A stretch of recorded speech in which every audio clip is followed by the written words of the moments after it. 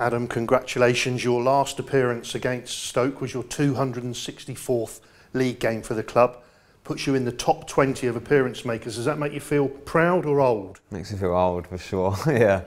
Um, yeah, nice, great achievement. Um, you know, to be at this club for so long and make that many appearances is, yeah, it's obviously a great achievement. So hopefully many more to come.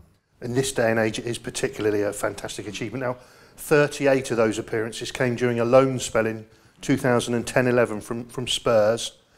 Just going to show you the picture here of you on your debut against Carlisle in September 2010.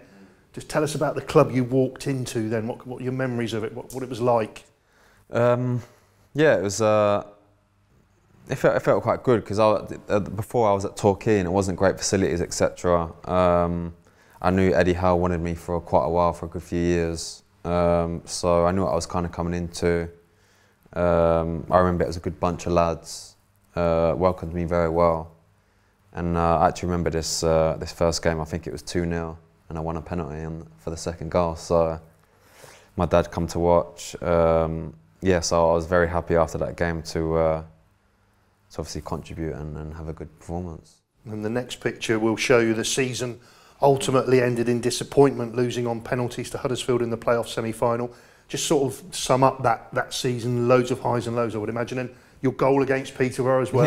Yeah, weren't the best goal, was it? But yeah, um, yeah, I remember that game. I think it was 3 against Peterborough. Um, it was an exciting game. Um, and yeah, the season was full of ups and downs. Um, obviously, Eddie Howe left halfway through, and then Bradders and Fletch were manager and assistant.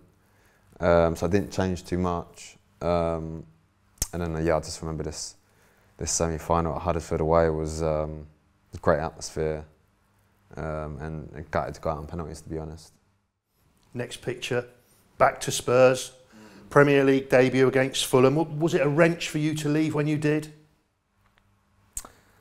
Uh, yeah, it was difficult, you know, because I'd been there since I was seven, so that's all I knew. Um, I didn't I didn't feel I got a fair chance to, to show what I could do in the first team at Spurs. So um, it was unfortunate, but you know I've, I've took a different pathway, and obviously I played in the Premier League for five years. So um, you know that was a great achievement. That was my goal, obviously, to play in the Premier League. It's every kid's dream, isn't it? So um, yeah, but it was not meant to be. But it was difficult to leave Spurs for sure.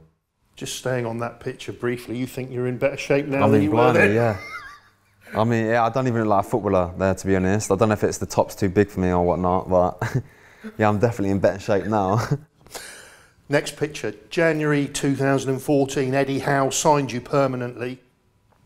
He's six games above you on the list of appearance makers. Just tell us about the influence he's had on your career. Oh, massive. Um, couldn't speak Lee hot enough of him. Um, just to give me the opportunity, you know, just uh, I was obviously, I must have had about seven loans, um, needed to settle, um, you know, giving that stability. Um, you know, the first season that I come was difficult because I didn't really, didn't really start a lot of games. Frano was obviously on fire, so it was really, really tough.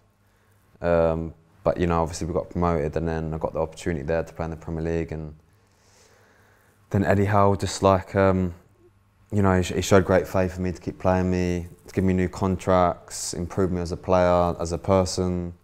Um, yeah, honestly, he's just um, yeah, he's a great manager and a great person, and uh, yeah, something that I'll, I'll never forget. You just you just touched on it there. You only had six starts in that championship winning season.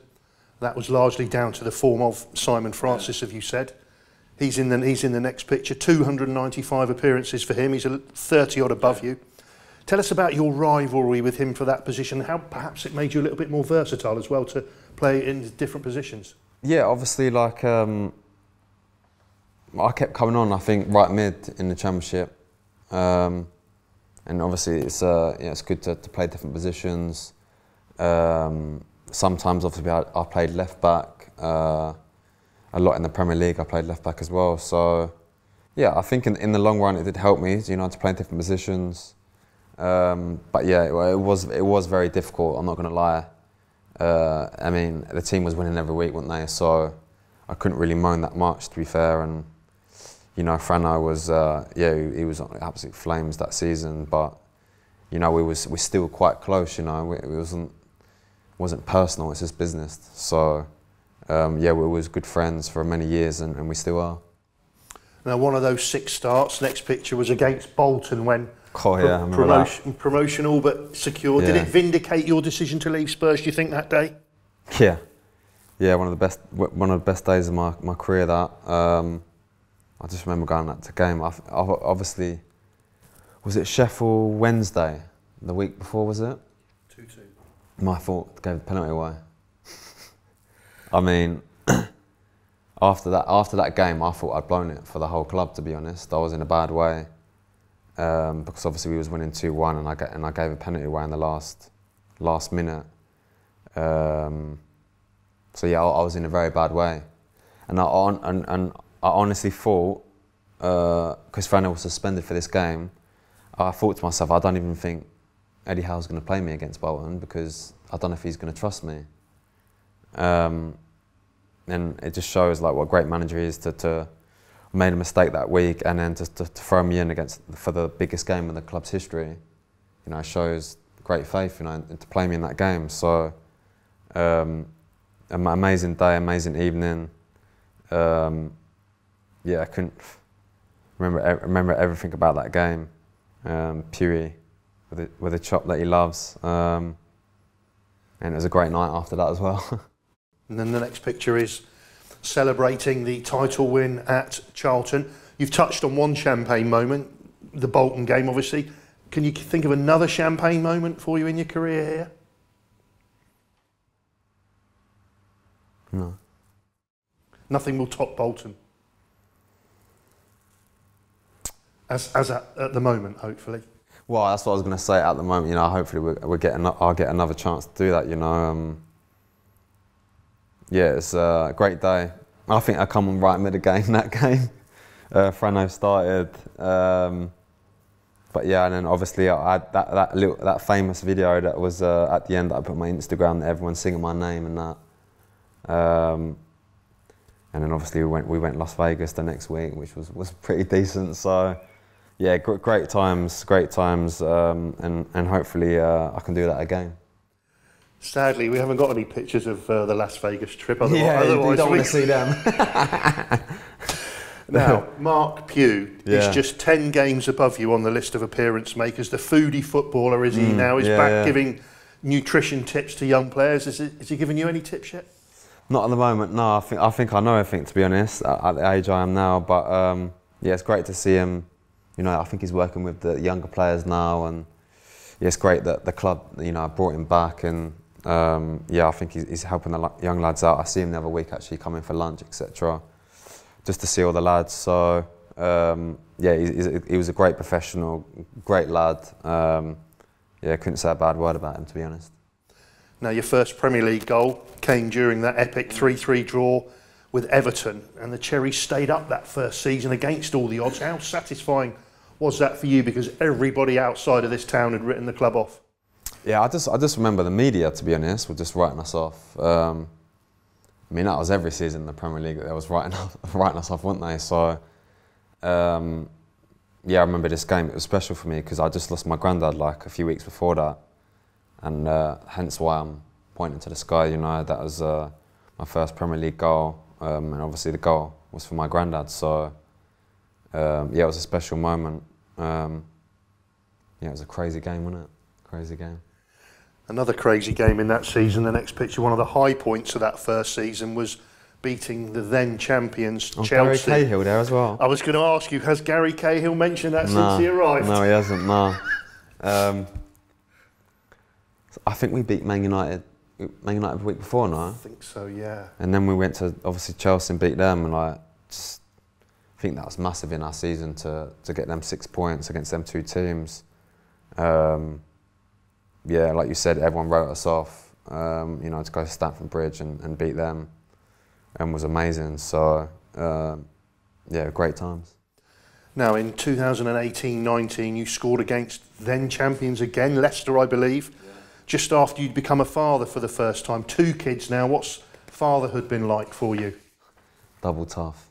Yeah, I'm not gonna I'm not gonna allow when I first had my my boy Saint, um, I thought it was tough, but now now I've got two kids. Wow, I mean, credit credit goes out there to all the mums with two kids. You know, it's tough, really tough. So, and this was um, yeah, this was amazing. You know, just I had my Saint, my my son, three days before this, and um, yeah, to, to score the same week was amazing. You see King in the background clapping because obviously he knew it was my son. So. Um, yeah, it was. I think it was a bit of a crazy game. Though I think we was. They were started to have a late comeback, didn't they? I think so. Yeah. But um, yeah, another another great day. Never forget that. Now, it was a month later, you made your 100th Premier League appearance against Southampton. You get your trophy there. Yeah. Just sum up, if you can, the five years that we had in the top flight and how sort of determined everybody is to, to get back there if they can. yeah, no, was, honestly, it was, it was amazing, amazing five years. We had a great bunch of lads. Um, you know, it was uh, every season was getting harder and harder to be honest.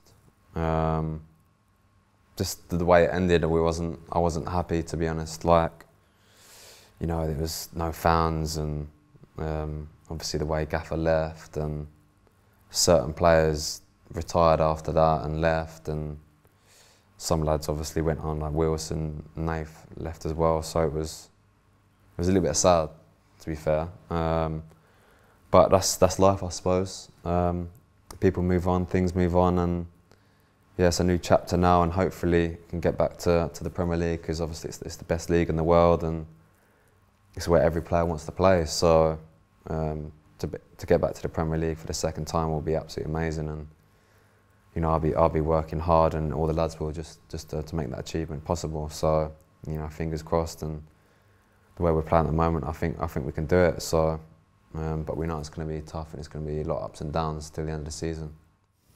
Last season, you donned the captain's armband there. How important can your experience be to the younger lads, and do you sort of feel a bit of a responsibility to be one of the leaders now? You're one of the older oh, yeah, players. for sure. Um, especially because I've been there, done that. You know, I've I've been promoted with this club before. I know what it takes.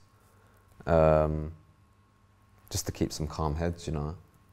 Even the game the other day was, was great to see from the lads. I'd obviously come off, but just to show that character to keep going to the end. Um, that's what we're going to need now to the end of the season. There's going to be, like I said, ups and downs.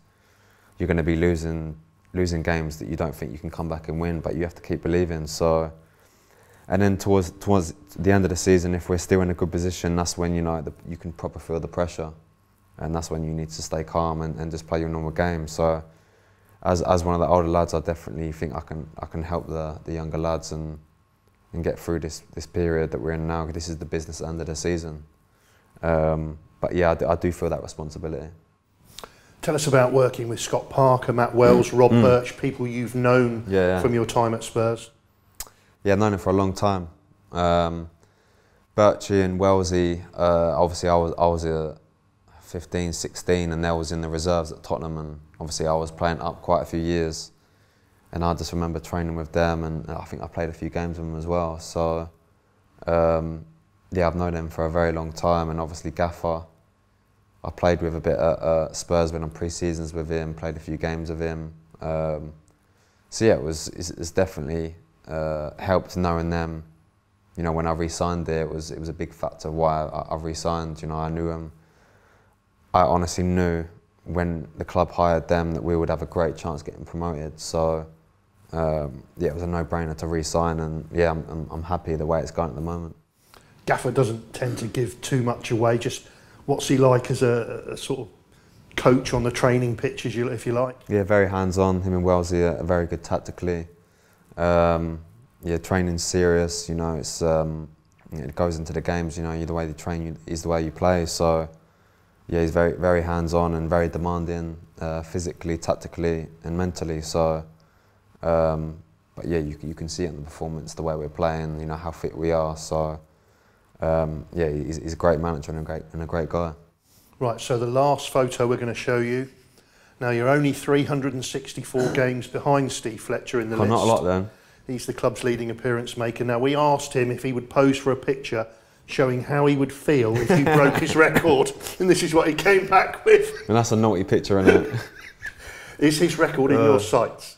Nah, definitely not. I mean, unless I play till I'm 40, I, I think I might have a chance. But um, yeah, I, I don't think I, I don't think anyone's ever going to beat that. To be honest, like you said before, not many players stay at a club for many years. So, um, you know, especially if we get promoted, I'm I'm definitely not breaking that record with with less games. So, but do you know what? I'll take that all day long. Um, yeah, what an achievement from from Biggin, man. That's uh, yeah, it's, it's a leg- he's a legend, isn't he? So yeah, I don't think anyone's ever beaten that. Congratulations to you for getting in the top Cheers, 20 now, as well. A lot more games to come, hopefully. Cheers, thank you. Thank you.